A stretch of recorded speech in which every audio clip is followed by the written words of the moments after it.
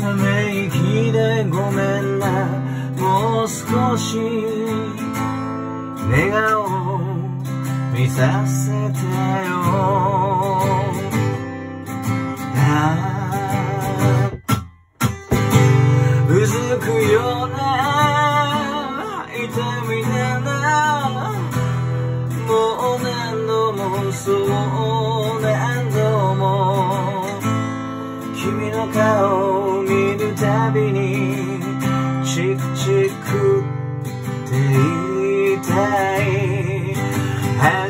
始まったばかりのさ君の人生と重ねて思ってる。同じ頃の自分ときっとこうや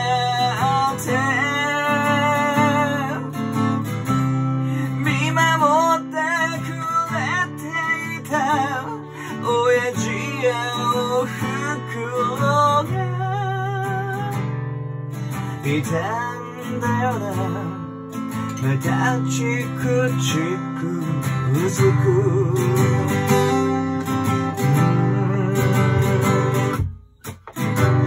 親バカな。妄想はもうどこまでもずっとどこまでも。待しないのも愛情だよ。なんて言われてもななれるかもしれない。ことだらけなこれからをつまずいて傷ついて歩いてゆけ。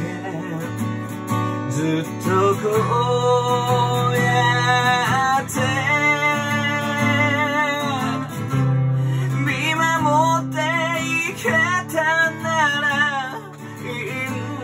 けれども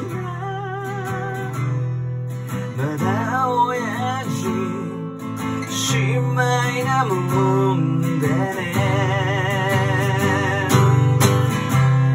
親父って大変だななんて笑いながらおやすみのキスはほっぺにチュー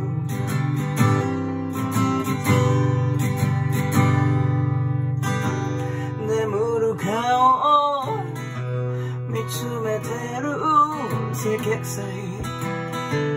ため息で